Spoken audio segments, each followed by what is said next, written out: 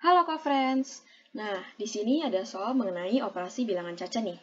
Mari menghitung hasil pembagian dari 72 dibagi 6. 72 dibagi 6 ini apa sih? Kita anggap ada 72 ikan yang mau kita bagikan ke 6 kucing yang mendapatkan jumlah yang sama. Kalau gitu, kita hitung 72 dibagi 6. Sekarang kita hitung 7 dibagi 6. Angka berapa yang jika kita kalikan 6, hasilnya 7 atau mendekati angka 7. Jawabannya 1. 1 dikali 6. Hasilnya 6. Mendekati angka 7. Maka kita tulis angka 1 di atas angka 7. Lalu kita tulis hasil perkaliannya di bawah angka 7. Kita kurangkan.